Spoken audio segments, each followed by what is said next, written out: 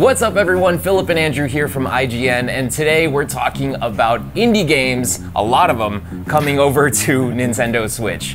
Um, so, in last week's shareholders meeting, it was announced the, that Nintendo is actually planning on releasing 20 to 30 indie games on the Switch's eShop per week. Now that, too many games. Yeah, that sounds like a lot of games. Now, Andrew, I'm curious to think, uh, what is your take on this whole deal? Do you feel like this is going to just overcrowd the eShop and make good games harder to find, or do you feel yeah. like more is better? I mean, I think that discoverability is always the problem, right? If you look at Steam or the App Store or anything, like they're they're incredible diamonds in the rough, but they kind of get drowned out by all these smaller, you know, not even smaller, but maybe not as polished games. Right. And the funny thing for Nintendo saying they want to release 20 to 30 games a week is like that's easy for Nintendo to say, but like the developers making them, that might be harder. yeah. and especially if they want to release on multiple systems at once, it's just going to be really interesting seeing how Nintendo gets messaging out for those games. Exactly, and especially if you look at a lot of the games that have been releasing on the eShop lately, I feel like Nintendo doesn't really have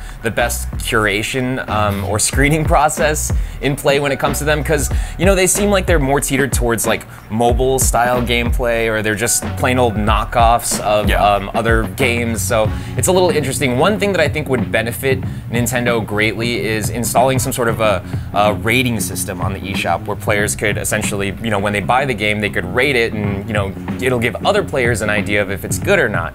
Um, but my biggest worry with releasing 20 to 30 games a week on the eShop is that it's just going to overcrowd it too much and we're going to miss a lot of these great games that do come out in this mix. So, for instance, Wednesday could come along and 15 games could just drop, and you know maybe two of them are really good, but they're buried by this horde of shovelware games. Well, and the AAA games that they're already competing with. Like, exactly. As it is for an indie developer, it's hard to get noticed in the shop when you know Wolfenstein is coming out and Mario Tennis is coming out, and there's all these things that are already crowding it. But then you know when you're competing against other dev- developers and maybe even yourself, like I mean, there are companies that will have multiple games coming out two weeks apart. That it's really hard hard to get noise for both of those. Um, I do think one, I think the ratings idea is great. I also think that Nintendo probably needs more of those Nindies focused directs. Yeah. I think if those weren't, you know, they're like around once a quarter, maybe two, three times a year, uh, not quite once a quarter, but I do think that they need more of those specifically to show people,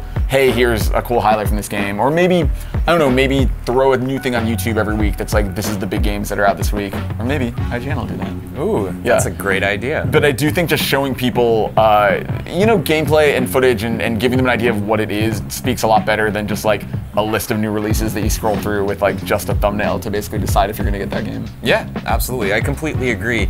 Um, so that's our take on this whole eShop debacle with uh, numerous games being released, 20 to 30 a week on the eShop. But we're also curious to hear what your thoughts are. So let us know in the comments down below what you think, if this is a great idea, if you think more is better, or if maybe Nintendo needs some sort of curation process or a rating system.